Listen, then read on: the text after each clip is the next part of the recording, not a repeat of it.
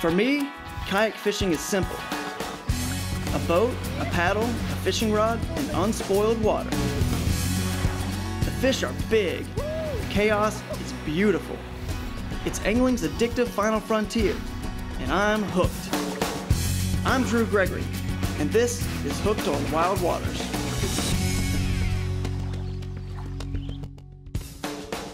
Drew Gregory's Hooked on Wild Waters has been brought to you by River Bassin Tournament Trail. No egos, just fun. Jackson Kayak. We make fun. GoPro. Be a hero. Bending Branches. Pretty, smart paddles. Orion Coolers. Never lose your cool. 13 Fishing. Make your own luck. Z-Man Lures. The science and art of fishing.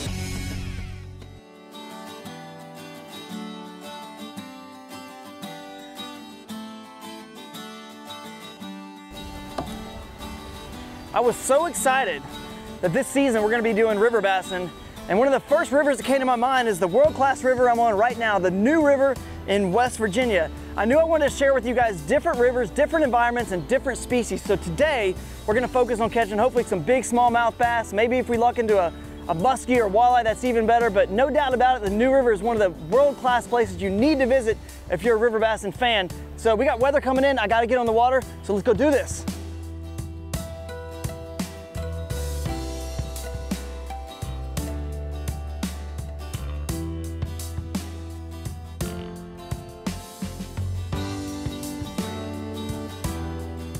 I mean, was I bummed that it rained the day before and, and the water's high and flowing really fast? A little bit, but at the same time, you gotta go when you've planned to go. And you go fishing whenever you have it planned, maybe it's Saturday, Sunday, or whatever. If it rains, you're not going? Of course not. You're gonna put on the rain jacket, you're gonna get out there, and that's what we did today. And it's just gonna be that much more of a challenge, but it's gonna make any fish we catch that much more exciting.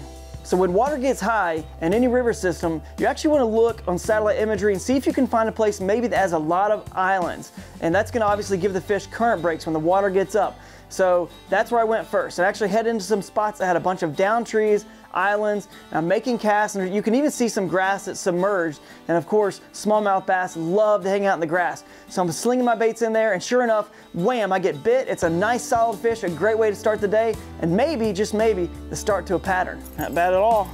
Feisty little guy. All right, the spinnerbait is working. Such a good lure in stained water.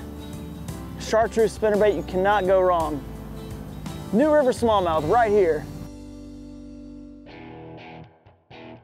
The New River has a lot of grass in it in this section and some ledges. And so one thing that I was able to do, especially with wearing good sunglasses like Smith Optics, I could see right down in there and I could see the submerged grass. You can just see this very dark shadow looking thing underneath the water about this high. Sometimes the grass would actually come out of the water, but there was a severe drop off, just a ledge. It looked like someone just took a knife and just cut the river like that and it dropped off and water was swooping down right by that ledge. And sure enough, a perfect ambush point for any bass to be. I'm catching fish there. Wham, one, two, three, bam, bam, bam. And I just keep changing lures. Every time I change the lure, I throw it in there, I catch another fish. There we go, that's a better fish too.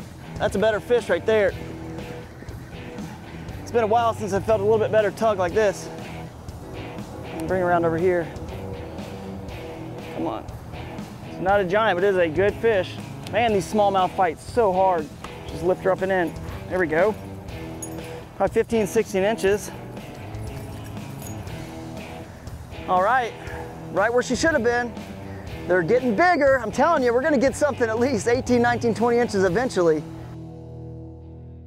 I'm making my way downstream, continuing to look for areas that have grass or current seams, especially behind islands. This one spot happened to have both, so I knew high probability for a big smallmouth bass here.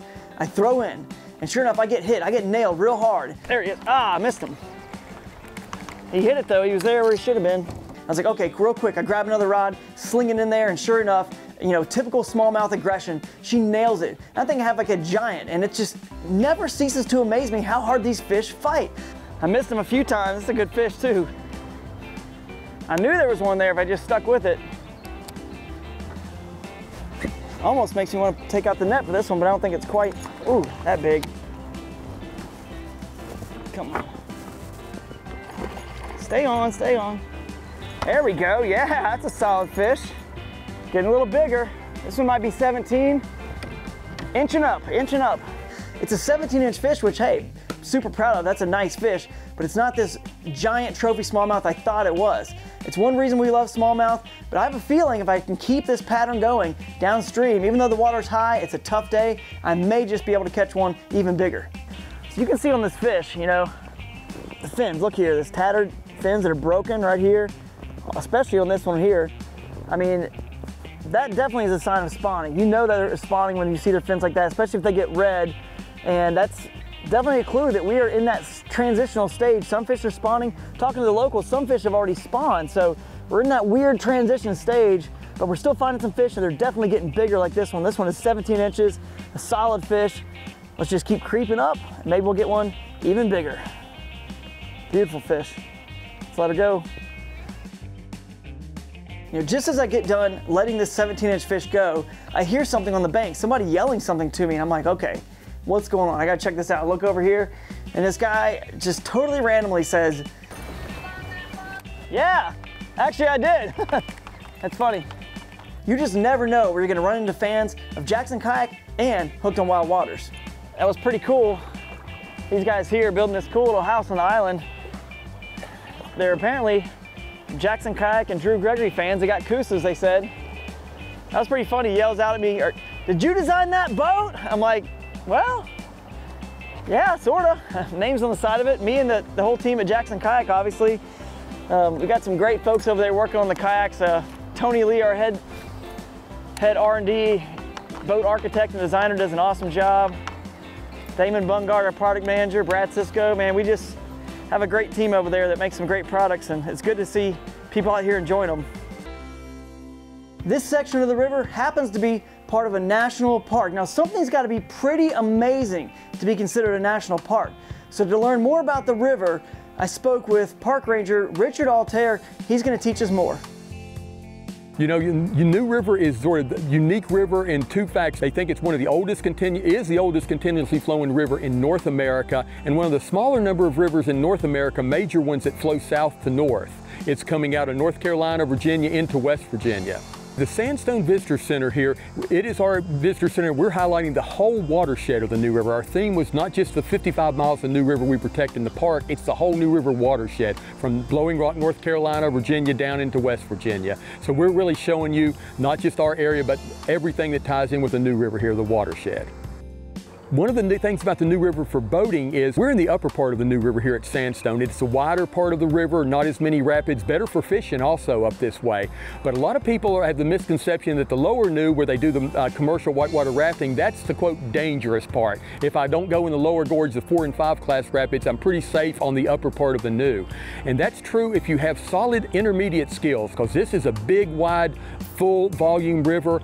We have anywhere you go, you're not going to go very far on the upper part between a one to two to three class rapid. And it's not for beginner boaters. You want to have someone who knows the river with you or be at least a, feel like an intermediate boater if you get on any section of the New River. Like I said, big, powerful, wide river here. The current, even in the flat water, if you're floating down this river, you'll say, well, that current, yeah, it's really strong even when you're not in the rapids there. So you want to have some skill level here. It's not beginner level when you're fishing, but the upper part is far better for the fishing. The lower part, you're, you know, coming in and out of rapids, solid four and five class rapids, is more for the thrill of the rapids there. We can prepare you for a trip down the river. We have a, a river guide waterproof map that goes in the boat with you about all the rapids, uh, put-ins, takeouts of the area, natural cultural history of the area. We can fix you up with any kind of information, water levels, what's happening on the river that day you're going out there to get you the water levels there, any kind of maps information. A lot of good natural and cultural history facts about the New River too, along with just helping you get out fishing or exploring just whitewatering also. So if you're considering fishing the New River Gorge National River or any national river, be sure to stop in at the local park because there'll be a ranger just like Richard who's able to provide you information and a booklet you can flip through that explains history of the river. It's got maps on the river, areas I need to look out for, any obstacles. Hey, look, it's all gonna help you catch more fish in wild waters and do it safely. I've caught some really good fish today, but things are about to get a little bit more challenging. I look up, the sky is really gray, it's starting to rain, And of course, we're in the section of river now that's got the bigger rapids. So I'm first and foremost just wanting to make sure I get out of here safe and sound and alive, but I still want to catch a big fish. So if it's going to happen, it needs to happen soon.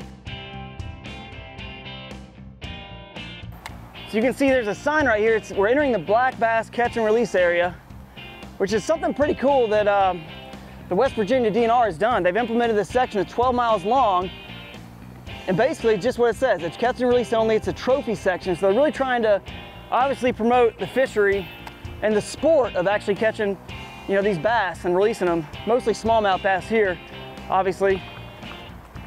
So let's hope we can catch and release a big one ourselves. So I hate to stop on the river and retie lures, but I'm telling you, it's a smart thing to do. You gotta make yourself do it. And that's what I'm doing now. I can tell the volume of the river's higher than I expected, so I'm putting on a few heavier baits, a few bigger baits, because I want to catch some big fish. We've caught small ones already, plenty of small ones. We're here for the big trophy smallmouth, so let's go big, and hopefully we won't go home. I don't know, this, this rain might send us home. Hopefully not. I make my way down this one rapid section and it makes the perfect eddy, you know, this nice calm area where the fish have been hanging out. And so of course, I take my Z-Man Streakz because I see a bunch of sticks and low-hanging logs and I want to skip it right underneath these trees. I skip it, make the perfect cast, and if there was ever a time I should have been rewarded for a good cast, this was it. This smallmouth bass hits it so hard. Oh yeah, there we go, there we go. This might be what we came for right here. And I could tell just by the weight of this fish, this is a solid fish. I don't want to get my hopes up. I've been fooled before with these smallmouth bass. Oh, my drag, I gotta tighten it up. Oh yeah, it's a good fish, good fish. But eventually, as I'm fighting this fish in, I get a glimpse and I can see this is that trophy 19, 20 inch smallmouth bass that I've come to the New River Gorge for. Oof. Stay on, stay on. Oh, come on, get in. Woohoo, yes! That's what you come to West Virginia for, right there on the New River. This is a nice, nice fish. She might go 19, 20 inches. Look how beautiful this fish is. This is unbelievable. What a fish. I just love smallmouth. Man, these are awesome fish. Ah, check it out, GoPro. Smallmouth bass are known to be one of the prettiest black bass species there are, and this particular fish definitely shows that off to you guys. You can just see how beautiful this fish is. You know, this is what makes a smallmouth different. It's got the smaller mouth than a largemouth. You can see when it closes its mouth, its jaw doesn't go beyond its eye. It's got these vertical bars all over it. They call them bronzebacks quite often because you can see they're kind of brown and bronze. So what an awesome fish. In my opinion, the fastest and the hardest fighting of all the black bass. Let's let it go because again, don't forget, we are in the catch and release section, right? She nailed that Streakz. Man, I skipped it right under that tree perfectly. You gotta love it when a plan works out. All right, let's let her go.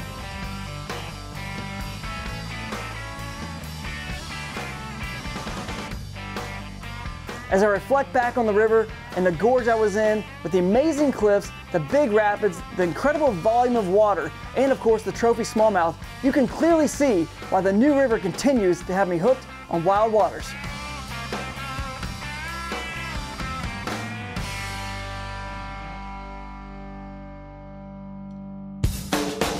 Drew Gregory's Hooked on Wild Waters has been brought to you by River Bassin Tournament Trail. No egos, just fun. Jackson Kayak. We make fun. GoPro. Be a hero. Bending branches. Pretty, smart paddles. Orion Coolers. Never lose your cool. 13 Fishing. Make your own luck. Z-Man Lures. The science and art of fishing.